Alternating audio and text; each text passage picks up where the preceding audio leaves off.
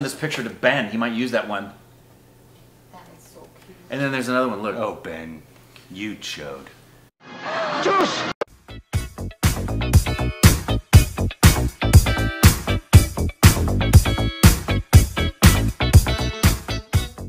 Hey, welcome back to our stupid rag sheet. Up Korbin. I'm Ricky. Ah. Today we got an informational video. Is it about circumcision? Uh, no, World War II. Oh, I was close. Yeah, a little bit. Yeah. Uh, um, it's World War II from India's perspective. Ah. So this Yay, Churchill. Yeah, right.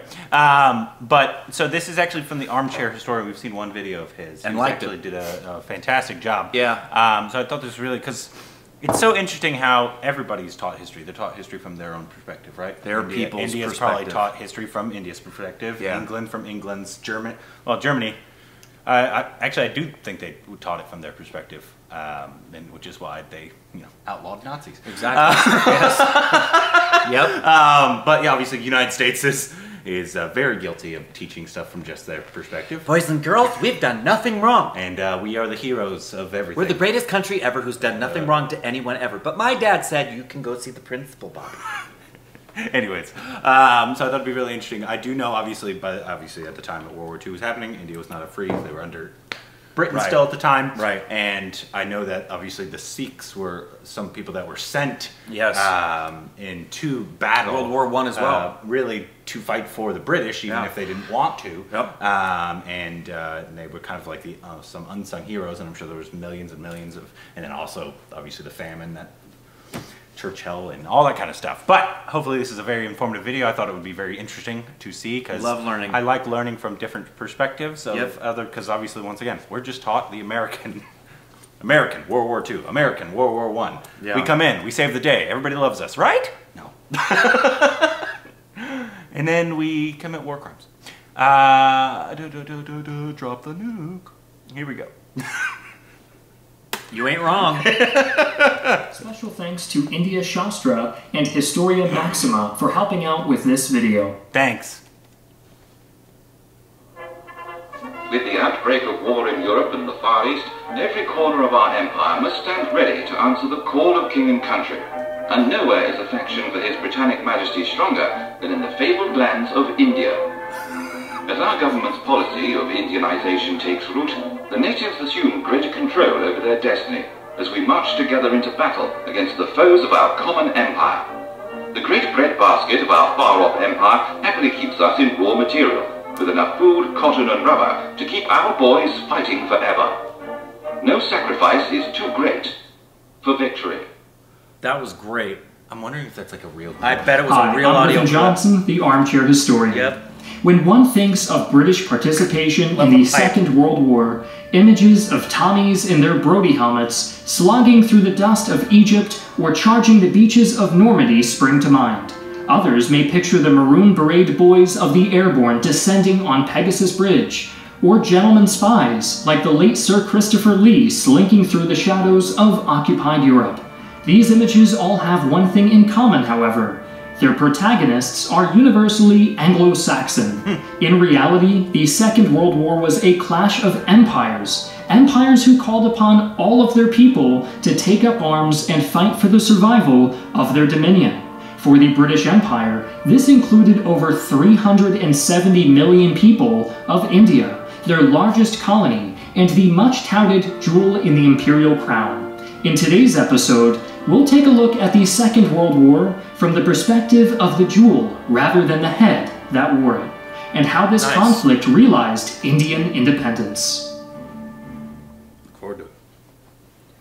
During any major conflict, information can be just as valuable as bullets. The Axis powers, in particular, sunk vast amounts of resources into the science of encryption. But while the vaunted Enigma machine was eventually cracked by Allied codebreakers, our sponsor Great movie. NordVPN promises Benedict to keep your data safe and anonymous while ad again. the I internet. liked it. With over 5,200 servers in 60 countries, I think it happened in the last one, too. He has really nice, seamless location at the inserts press of his ads. bypassing region-locked content filters and letting you access historical videos, research Sure, they were papers, very and happy documentaries anywhere at any time. A single subscription supports up to six devices on every major platform, from Windows to Linux, ensuring continued protection no matter what system you are operating on. Fans of the Armchair Historian can also take advantage of a unique discount by going to nordvpn.com slash historyvpn to get a huge discount with a bonus gift. Try today without risk thanks to Nord's 30-day money-back guarantee.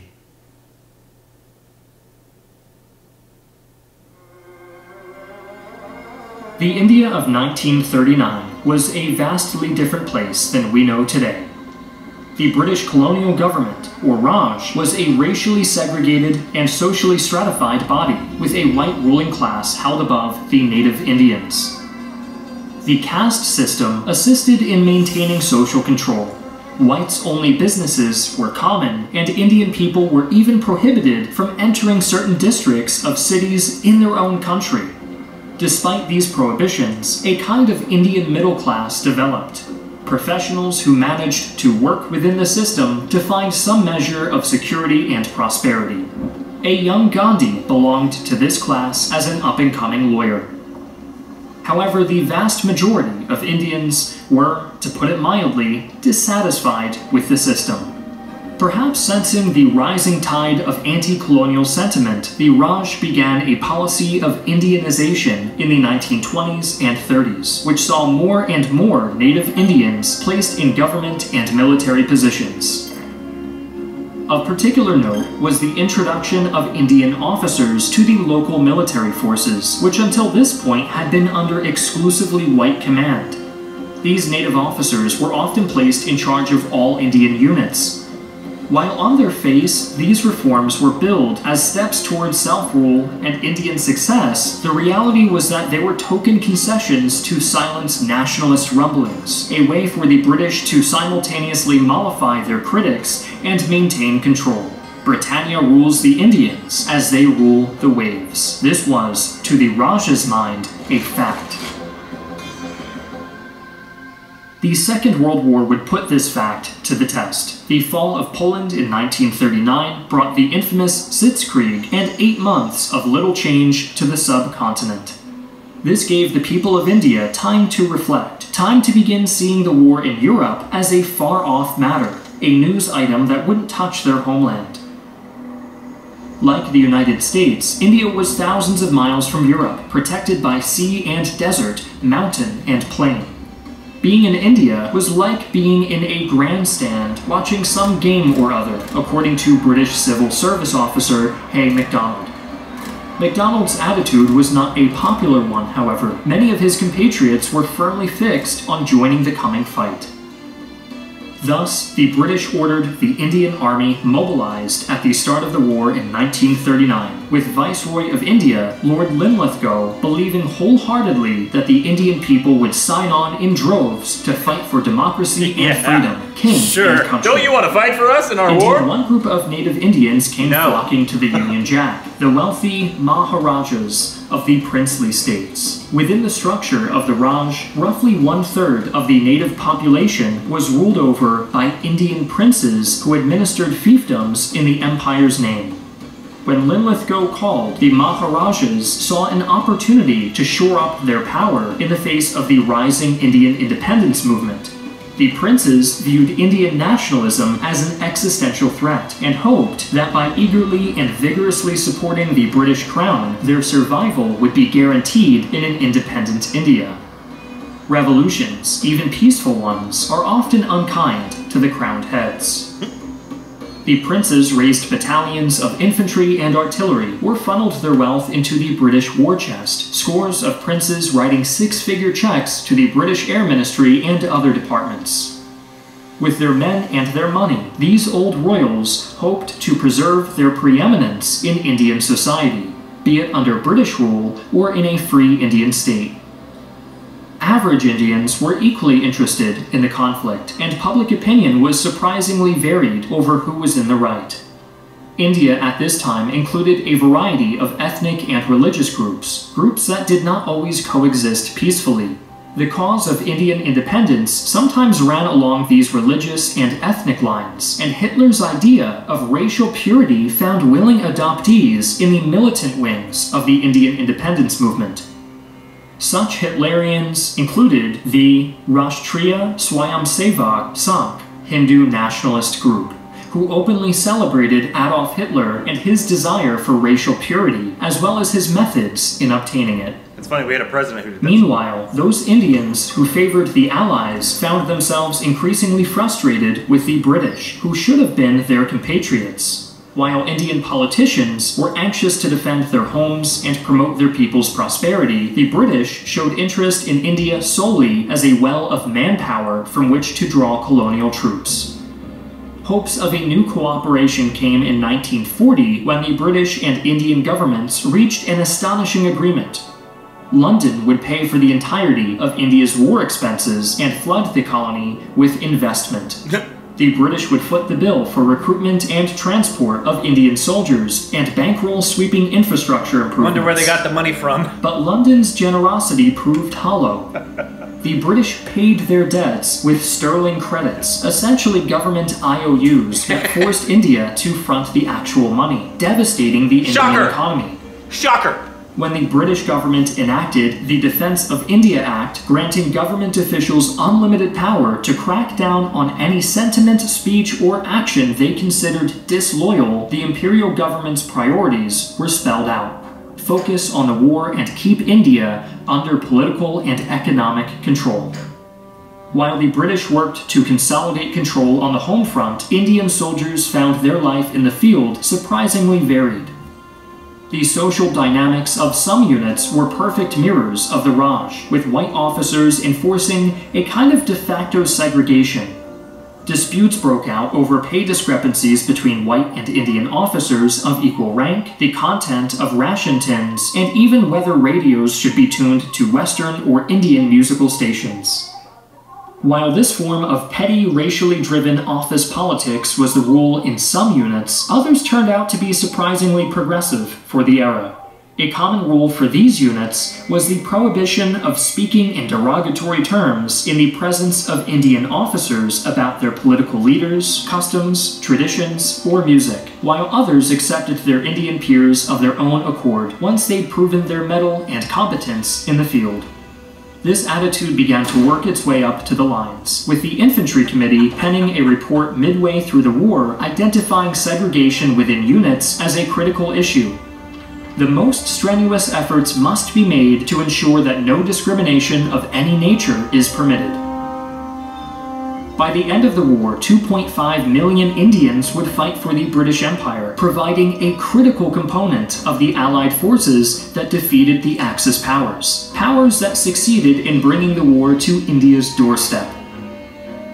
Imperial Japan's attack on Pearl Harbor was like a bucket of icy water dumped onto India's head. Up till now, the people of India thought the Second World War would play out much like the First, with Indian troops sent to far off lands and the subcontinent spared of actual fighting. The Japanese were all too happy to disabuse India of this notion. And Pearl Harbor was followed by an East Asian blitzkrieg that toppled colonial government after colonial government.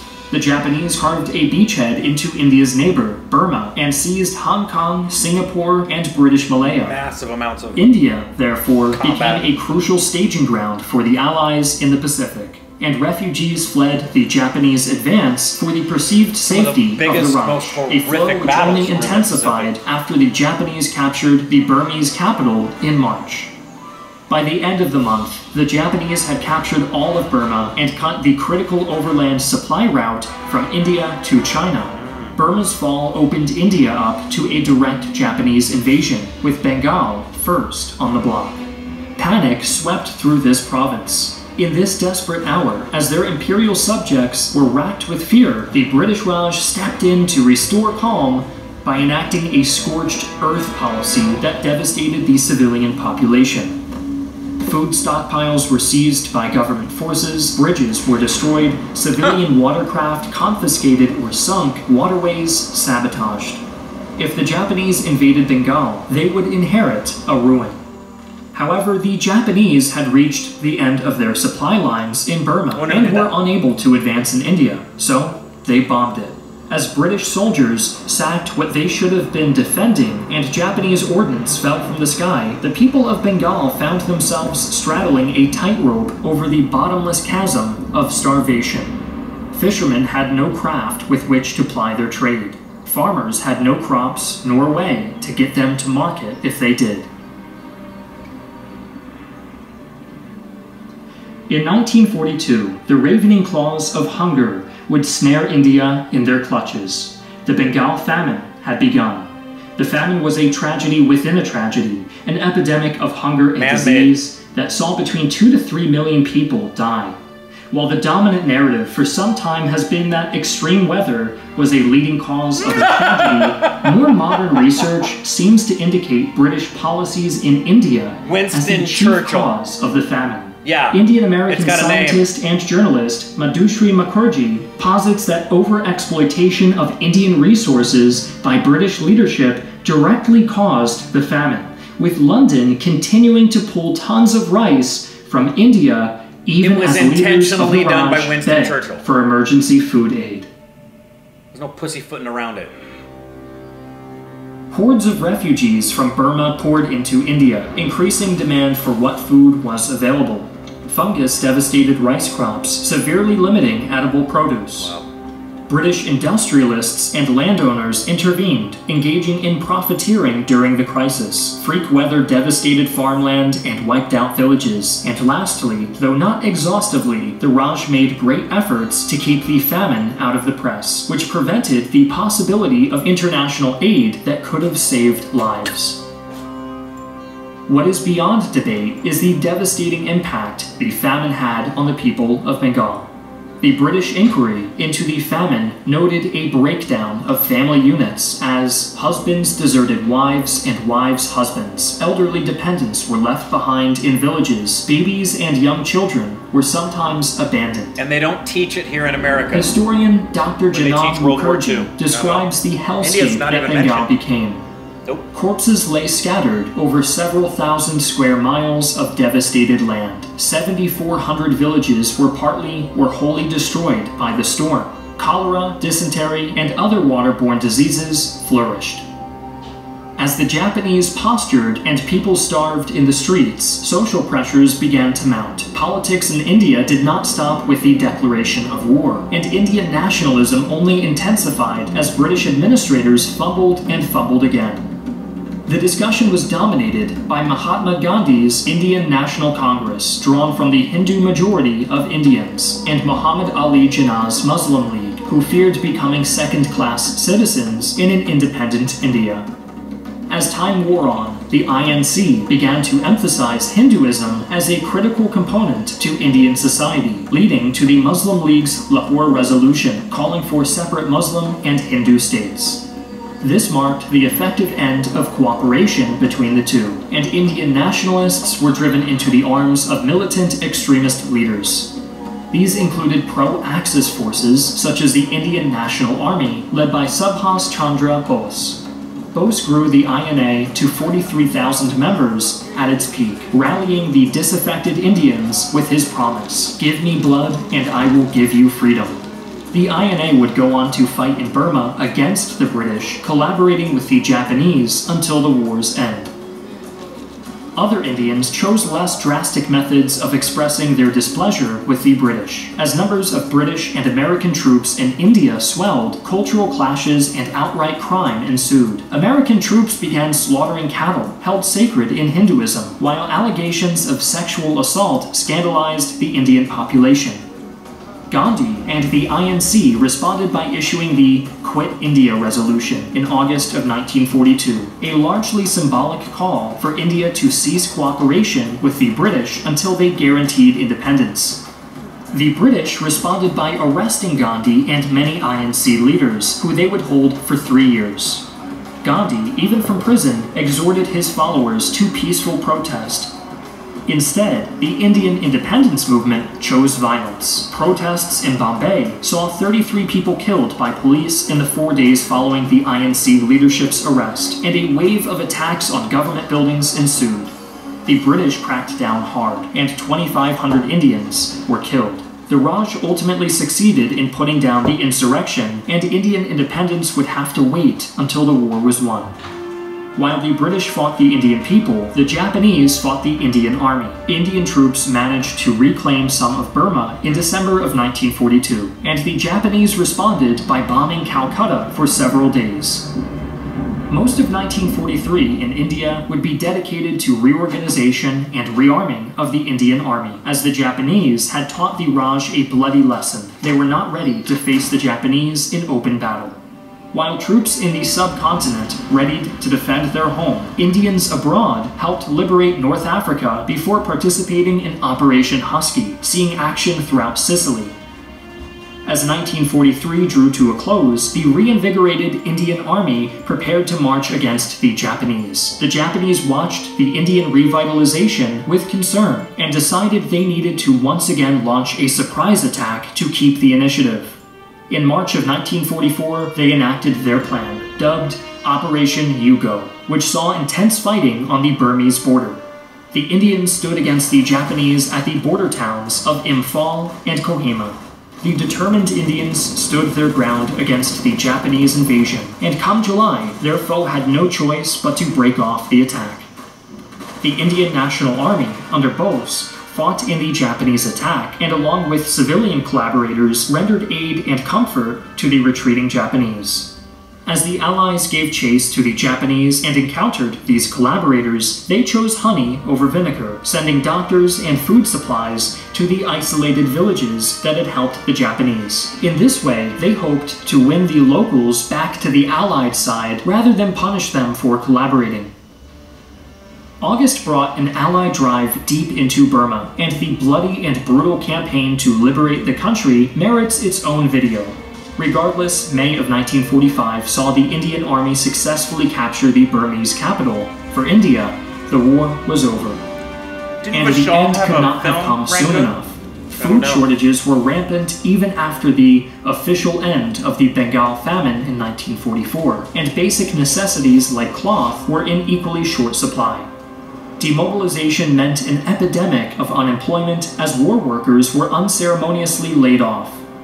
Members of the INA were arrested and interrogated, but public outcry saw many of them spared prosecution. Some Indians saw the INA as a legitimate member of the independence movement rather than Japanese Quislings. Speaking of independence, the British agreed to discussions with Indian leaders regarding the possibility of Indian statehood and released political prisoners as an opening gesture, including Gandhi. Independence soon became an inevitability, and Indian statehood talks opened. Tensions between Hindus and Muslims were a key issue of the negotiations, leading to an agreement to partition the colonial territory into the Hindu state of India and the Muslim states of Pakistan and East Pakistan, now known as Bangladesh. The results of these negotiations are outside the scope of our discussion today, but suffice to say, the liberated colony would experience some growing pains. India would go into the Second World War To as a colony least. and emerge a pair of nations. In terms of military dead, India lost 87,000 soldiers in the fight against the Axis. But accounting for civilian dead in the Bengal famine and other incidents, Millions. the death toll rises to a staggering 2.2 million at a minimum.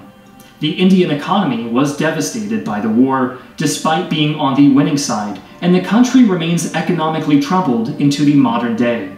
Nevertheless, India was able to throw off the shackles of colonialism, kicking off a wave of decolonization in the aftermath of the Second World War. It is no hyperbole to say that Indian troops and materiel were a substantial contribution to the total Allied war effort. A contribution paid for in the spilled blood and empty stomachs of those living on the subcontinent. Great video. job. Great, great video. Very in depth. I always love the Uh, animation too. Yeah, he. I don't know if he does it or if he hire if somebody in his team uh, does their anime. Oh, obviously, they'd probably say here um, in the credits. But Yeah. yeah, I think he does a, a fantastic job. And if any of the information is correct, talk to him. Yep. Not us. we are just commenting on his video. Yep. Um, but yeah, it's it's always because whenever I'm thinking, obviously, World War II is taught, pretty early here, right?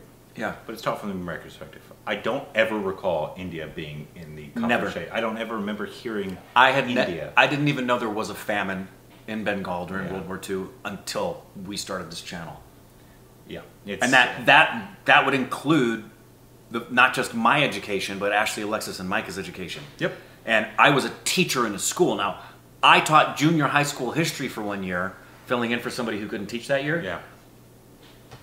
It was not given to me in syllabus or criteria, and we covered World War II. Yep. There was nothing in there for me to cover anything that pertained to India. Eh, for World War II, it's usually um, stuff's going wrong. United States was like, "We're good. We don't want to be part of it." Yep. And then Japan was like, "We're gonna bomb you," and then we're like, "Okay," and we came in and we saved the day. Essentially, obviously, there's more to it. Obviously, and No, but and- that's what that's and, what you're basically talking. And there it's is there is some Hitler was a yeah. an evil madman trying to take over the world. We waited too long because it was on the other side of the world. This is the synopsis you're taught. The Japanese partnering with Hitler bombed us. We're like, you sons of bitches, we didn't deserve that. And then we went and we just kicked ass and took names. And That's then- the way it's taught. and then dropped a bomb. yeah. Um, On how many? Yeah. Uh, yeah.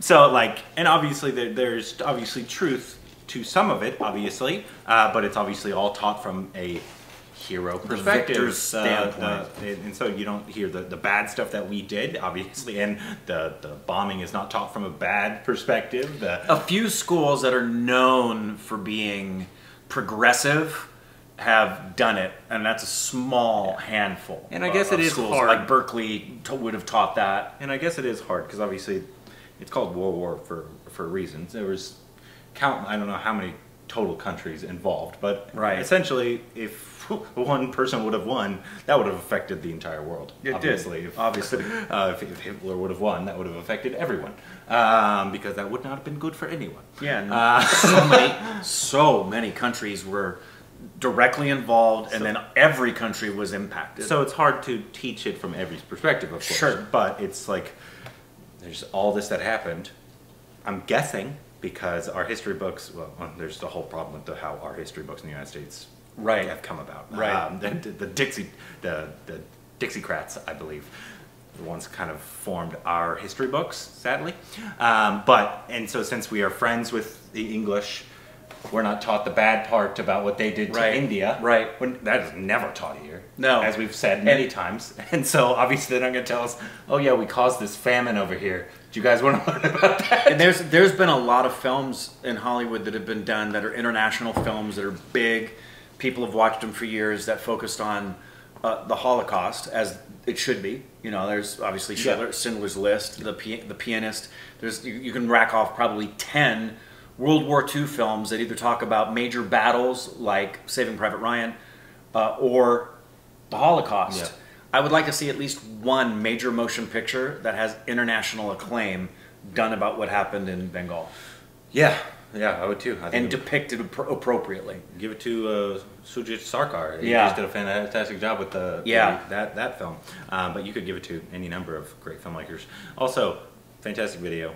I love learning about different uh, things that I never knew about. Um, but Rangoon, I feel like Vishal had a At a film had, as a film. It was a military film, and I believe that's that's the name of it. Uh, is Rangoon. So is it about that the recapturing of, of that city during World War II? Uh, you can let us know. I think we've reacted to the trailer of it. Shahid is Shahid in it? I don't think Shahid's in it. I don't remember. I just I remember know. for sure. Um, and I'm wondering, um, Johnny, is um, World War II obviously heavily taught, especially in Bengal, about the famine. So you guys learn all about that at, at nauseum, probably, right? Yeah, during school. Do you learn about the Americans' perspective at all? Uh, How much of that do you do you not- typically learn? Not as much as Indian history Yeah. history, not as much, but we still do. Yeah. Yeah. Okay. Civil War especially uh, highlighted in Yeah. War. We Yeah. read a lot about the Civil War. Mm. Yeah, that's super interesting because we only learn ours. Yeah. Um, though you have American history, there's world history, but that's I think like one semester. That's like and one and semester. it, it's always predating 20th century stuff. And then if you live in Texas, you have Texas history. That's not a joke. that is a legit class. Only Texas And- history. Told you, Texans. Texas cares more about Texas than America. It's a, a thousand percent. Texas is a cult.